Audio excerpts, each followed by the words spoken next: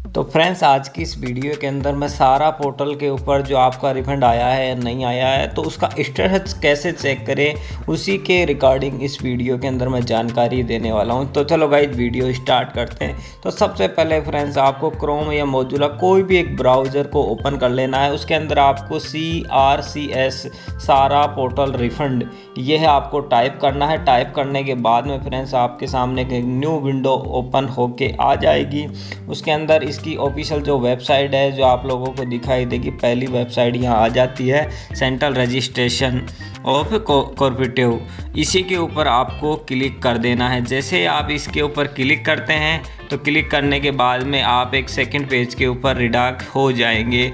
तो यहाँ आप देख पा रहे हो, ये सारा रिफ़ंड का मेन पोर्टल आ चुका है और ये ऑफिशियल पोर्टल आने के बाद में आपको जमा कर्ता के ऊपर क्लिक कर देना है। जैसे ही आप इसके ऊपर क्लिक करेंगे तो आपसे आधार कार्ड का लास्ट का चार अंक मांगा जाएगा, वो आपको डाल देना है। फिर उसके बाद में जो आपका आधार कार्ड में रजिस्टर्ड मोबाइल नंबर है, वो आप यहाँ डालेंगे ओ टी पे क्लिक करेंगे तो आपके मोबाइल नंबर पर एक ओटीपी प्राप्त होगा। वो ओ टी यहाँ फ्रेंड्स आपको डाल देना है। तो कुछ समय का वेट कर लेते हैं। ओटीपी हमारा मोबाइल नंबर पर रिसीव हो चुका है। मैं यहाँ OTP डालता हूँ और ओटीपी सत्यापित पे क्लिक करेंगे। उसके बाद में थोड़ी देर प्रतीक्षा करेंगे तो हमारे सामने रिज़ल्ट यहाँ आ चुका है।